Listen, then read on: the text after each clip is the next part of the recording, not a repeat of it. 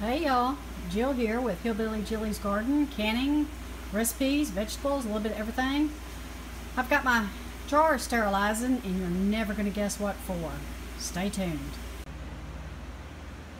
Okay, we've got our jar sterilized and now we're going to do something special. This is for long-term storage of cookies. Yes, I said cookies. Um, occasionally you'll go to the grocery store, or Glutz or Walmart, anywhere, and you'll find where you can get cookies on sale.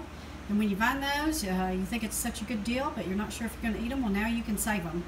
So watch closely. Okay, we've stuffed our pint jars full of the cookies that we got on sale. We have pecan sandies and we have lots of Chips Ahoy. And now we're going to put an oxygen absorber in each of these jars.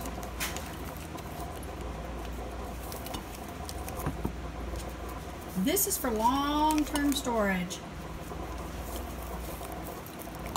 Here say that these could be up to 15 years, but of course they won't last 15 years here. We are going to wipe the rims off with a dry paper towel. You do not want to use anything wet. You do not want to introduce any moisture to your jar. Let me remind you that these are um, sterilized jars. We're going to put our lids on here. These lids um, can be reused for this type of canning for your cookies.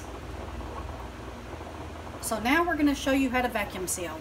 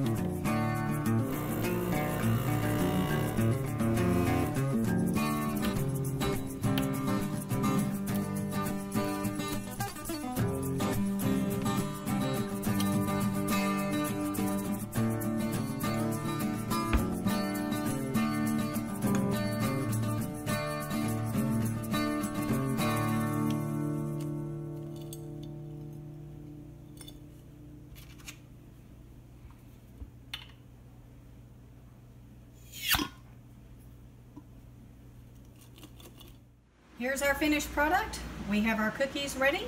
Chocolate chip, Chips Ahoy, we have pecan sandies. You can mix your cookies if you want, but just know that if you do, as time goes on, they will absorb the flavor of the other. And we're going to be able to save them for long term. We're going to keep them from any deteriorating or any meal moths. And we're excited. Thank you for watching. If you like our channel, please subscribe.